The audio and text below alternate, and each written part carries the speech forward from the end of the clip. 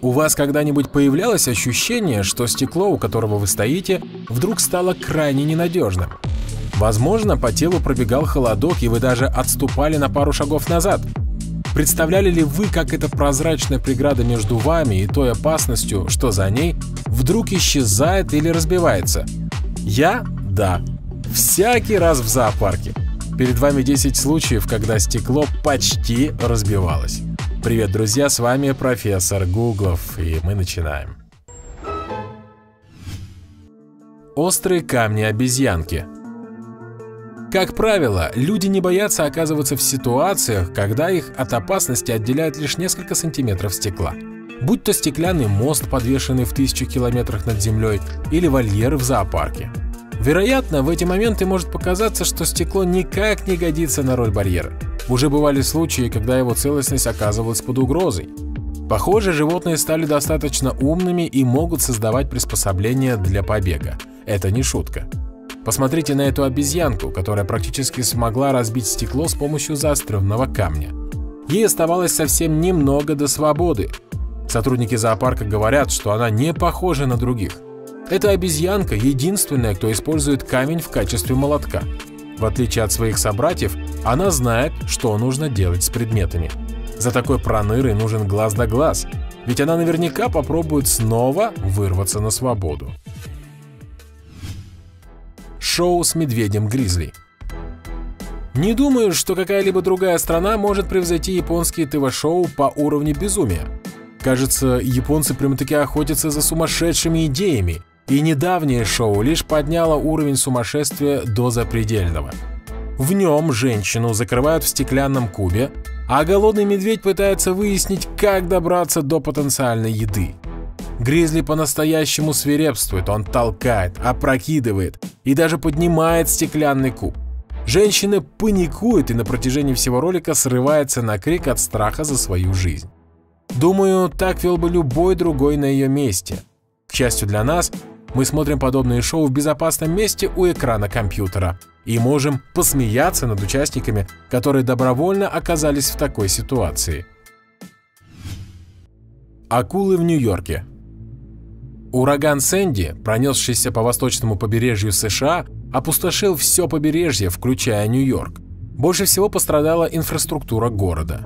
Для многих отсутствие общественного транспорта и электричества было самым значительным неудобством. Морская жизнь Нью-Йоркского аквариума также находилась в опасности, ведь животные оказались в воде. Может показаться, что оставлять рыбу в воде нормально, но без электричества, фильтров и регулировки температуры некоторые из этих рыб могли бы с таким же успехом сидеть в кислоте. Нью-Йоркские власти оказались в затруднительном положении. Тысячи рыб, черепах и даже акул нужно было перевести до того, пока они погибнут. Учитывая разрушения, которые принес ураган, решить такую задачу было непросто.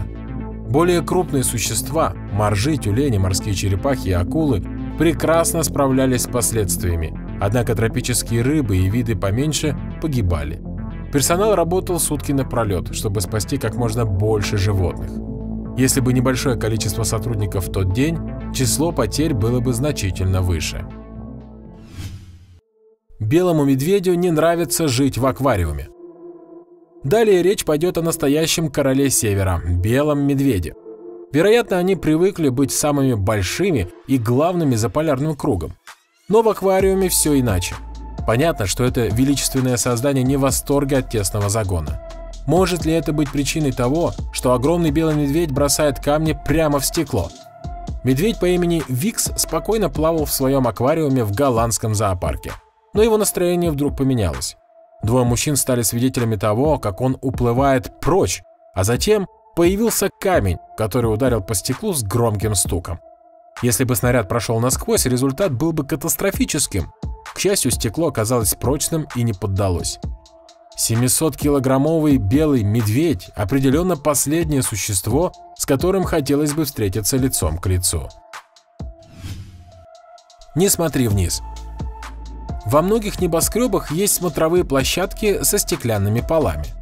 Если вам хватает смелости, вы можете полюбоваться на полную панораму города с безумных высот.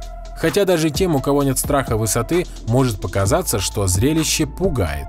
Уиллис Тауэр в Чикаго, когда-то самом высоком здании в мире, есть смотровая площадка на 103 этаже. Представьте, как двери лифта открываются в стеклянную комнату, словно подвешенную в воздухе. Посещать такие площадки для жителей и туристов стало практически традицией. Но этой семье не повезло. Когда они делали фотографию с видом на город, то заметили, что стекло стало трескаться у них под ногами. Можете себе представить, насколько это жутко? Вот вы стоите в стеклянной комнате, которая, к слову, слегка покачивается от ветра. И вдруг видите, как по стеклу расходятся трещины. Кошмар! Один из членов семьи так описал свои ощущения. Я прислонил ладошку и почувствовал, как трескается стекло.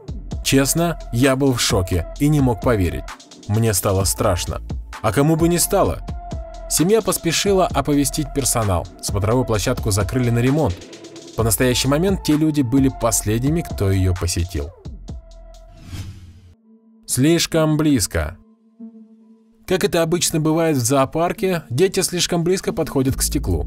Иногда животные решают отреагировать на неприятное вторжение. Как это и случилось со львом Маликом и девочкой Софией. Малик готовился к завтраку, когда София поднялась на смотровую площадку и прильнула к стеклу вольера. Недовольный тем, что ему помешали, Малик подошел и в упор стал смотреть на маленькую девочку. Удивительно, она даже не вздрогнула и не отвела взгляд.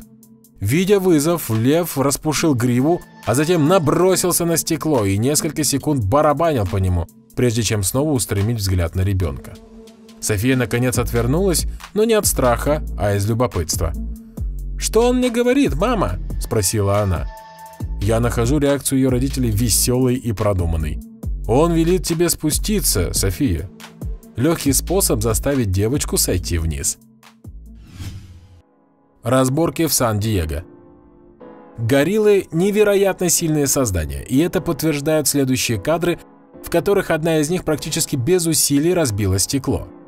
Приматы нанесли столь серьезный ущерб вольеру, что зоопарк Сан-Диего был вынужден закрыть всю секцию с ними на ремонт. Когда две гориллы начинают драться, мало что можно предпринять. Казалось бы, горилл можно усыпить, но усыпи одну, другая воспользуется возможностью выиграть бой. Усыпи обеих и получи тонну бумажной работы. Поэтому, когда эти животные ссорятся, их обычно не останавливают. До тех пор, пока это не угрожает посетителям – если что-то выйдет из-под контроля, смотрителям разрешается их усыпить. Но это нежелательно. Тогда взгляните на силу и свирепость горилл во время схватки.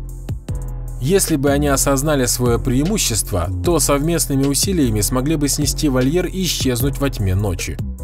К счастью для нас, гориллы еще этого не поняли. Морской слон нападает на машину. Если стоят предупреждающие знаки, что парковка запрещена, поскольку рядом живут морские слоны, то стоит обращать на них внимание. Люди, которые проигнорируют предупреждения, получат суровый жизненный урок. Этот морской слон не берет пленных. Если вы нарушите его покой, он отплатит вам сполна. Просто и понятно. Тюлень не против людей рядом с его домом, но вот вонючие и шумные машины он не потерпит. Только взгляните, как этот гигант бьет по автомобилю, припаркованному прямо под предупреждающими знаками. Держу пари, владелец его авто теперь будет обращать на них внимание. Иногда люди учатся только на собственном горьком опыте. Морские слоны находятся под защитой, поскольку некогда их вид был под угрозой исчезновения. Долгое время этих животных убивали из-за их подкожного жира. 1892 году северный морской слон считался вымершим из-за огромного количества документально подтвержденных наблюдений. Было подсчитано, что в 1910 году в живых оставалось от 20 до 100 особей. И только в 1922 году ситуация начала налаживаться. В дополнение к государственной защите тюлени стали активно спариваться. С тех пор их популяция выросла до 160 тысяч и продолжает расти. Когда количество особей достигнет приемлемого уровня, ограничения будут сняты. Разбитое окно в крыше. Окна в крыше круто и все такое, но когда они разбиваются, то могут быть смертельно опасными. Человек, снявший данное видео, усвоил урок. Такие окна больше не радуют его, он говорит, что теперь даже не может под ними ходить. И его можно понять, Мужчина рассказывает, что спал наверху, когда услышал громкий треск. Настолько громкий, что он подумал, что кто-то пытается пробраться в дом. Когда мужчина спустился вниз, то обнаружил, что стекло треснуло. Он достал телефон, чтобы заснять происходящее. Однако в это мгновение на мужчину посыпались осколки. Первоначальные повреждения зафиксировать не удалось, но последствия очевидны. Скажу вам вот что. Из-за этой истории в ближайшее время я точно буду избегать такие окна. Гризли разбивает стекло.